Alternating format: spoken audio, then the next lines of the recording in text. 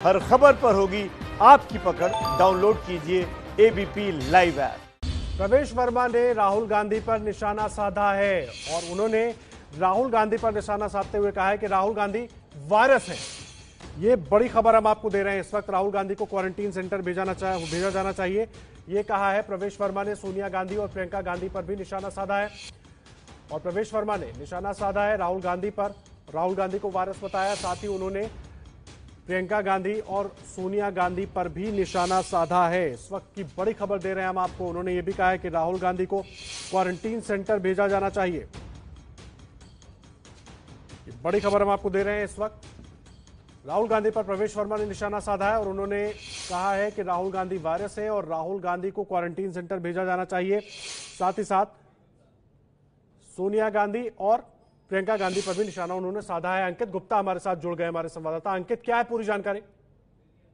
जी प्रवेश वर्मा जो बीजेपी के सांसद हैं, जब उनसे सवाल पूछा गया राहुल गांधी के उस बयान को लेकर के जिसमें राहुल गांधी ने लॉकडाउन के ऊपर सवाल उठाए थे तो उस बयान के जवाब में प्रवेश वर्मा ने सोनिया गांधी, राहुल गांधी और प्रियंका वाड्रा के लिए वायरस रहते शब्द का इस्तेमाल किया है और साफ़ तौर पर कहा कि उन, इन तीनों ही लोगों को क्वारंटाइन सेंटर भेज देना चाहिए, क्योंकि ये लोग कोरोना वायरस से भी बड़े वायरस है। इस तरीके के बयान और शब्दों का इस्तेमाल किया है प्रवेश वर्मा ने। उनका साफ़ तौर पर प्रवेश वर्मा का ये कहना है कि जब दुनिया भर में जो है बात हो रही है कि भारत में लॉकडाउन को सही तरीके से उसका इम्प्लीमेंट किया है।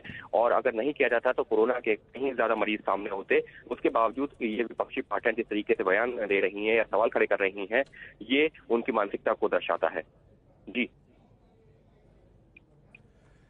मुझे मुझे अंकित एक बात बताइए बयानबाजी तो ठीक है हो रही है राजनीति भी ठीक है हो रही है लेकिन नेता किस तरह से जाकर बयान दे रहे हैं ये भी बड़ा सवाल खड़े कर देता है कि आखिर इतना तिलमिला क्यों जा रहे हैं एक दूसरे की बयानबाजी से कि कुछ भी कि, कोई भी शब्द इस्तेमाल करने लग रहे हैं? और राजनीति आखिर क्यों इस पर? निश्चित तौर पर ये तो है जिस तरीके से शब्दों का इस्तेमाल हो रहा है, ये पिछले कुछ समय से जिस तरह से ज़्यादा हुआ है, उस पर अपने आप पे वक्त रहते वक्त वक्त पर सवाल खड़े होते रहे हैं। और ऐसे वक्त में जबकि देश कोरोना संक्रमण से गुजर रहा है, कोरोना काल से गुजर रहा है, लगातार सभी पार्टियाँ, विपक्षी पार्टियाँ हो या फिर सरकारी जो सत्तारूढ़ पार्टी हो, वो ये कह रही है कि हमको बयानबाजी नहीं करनी चाहिए, इस मामले में जो है सबको एक साथ खड़े होना चाहिए। लेकिन उसके बावजूद बयानबाजी हो रही है और अब तो इस तरीके के शब्दों का इस्तेमाल भी शुरू हो गया है। जी, अंकित, बहुत शुक्रिया आपका। अंकित पूरी जानकारी दे रहे थे और देखिए आपसे कुछ मिनट पहले अंकित ने प्रवेश वर्मा से बातचीत की थी। क्या कुछ वो बातचीत थी? एक बार वो सुनवा देते हैं आपको। राहुल गांधी ने 22 तारीख को जो सर्दली बैठक हुई थी, उसका एक वीडियो रिलीज़ करते हुए ये बताया है कि ये लॉकडाउन पूरी तरह से असफल साबित हुआ है। और अब उसको लेकर के सवाल ये हो रहे हैं कि ऐसे तो देश में मामले लगातार बढ़ते जाएँगे। हमारे साथ मौजूद है प्रवेश वर्मा, बीजेपी सांसद। प्रवेश जी मोदी सरकार लगातार ये कह रही है, आप लोग ये लगातार ये कह रहे हैं कि लॉकडाउन का फ़ायदा हुआ है। आईसीएमआर की तरफ़ से कहा जा रहा है कि हाँ फ़ायदा हुआ है, लेकिन राहुल गांधी और जो विपक्षी दल कह रहे हैं कि लॉकडाउन असफल। देखिए, हम खाली एक दो संस्था नहीं, पूरे विश्व के बहुत बड़े बड़े राष्ट्र अध्यक्षों ने कहा है कि लॉकडाउन भारत में पूरी तरीके से सफल हुआ है। मगर बहुत ही दुख की बात है कि हमारे देश में एक ऐसा प्राणी है, जो हमारे देश में कोई भी अच्छा काम हो रहा हो तो उसको अच्छा नहीं दिखाई देता। तो मेरे ख्याल से हमारे प्रिय राहुल गांधी जी को क्वारंटाइन में डाल देना चाहिए। जब तक कि लॉकडाउन पूरी तरीके से, हमारा वायरस पूरी तरीके से ख़त्म नहीं हो जाता, राहुल गांधी जी, प्रियंका गांधी जी, सोनिया गांधी जी, ये एक अपने आप में इस देश के अंदर में वायरस हैं। जब तक ये ठीक नहीं होंगे और ये इस तरीके से पैनिक का माहौल हमारे देश में फैलाते रहेंगे तो बहुत लोगों में चिंता बढ़ जाती है तो हमारा इनसे भी आग्रह है कि इतना पैनिक ना फैलाएँ। और अगर ये कुछ मदद कर सकते हो झूठी मदद नहीं अगर ये सच्ची मदद कर सकते हो तो आगे आए और नहीं कर सकते हो तो कृपया चुप रह के बैठे अपना क्वारंटाइन करें।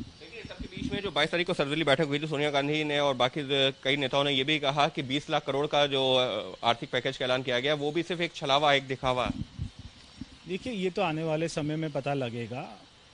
हमारे देश की सरकार की मंशा हमेशा गरीबों तक मदद पहुँचाने की रही है।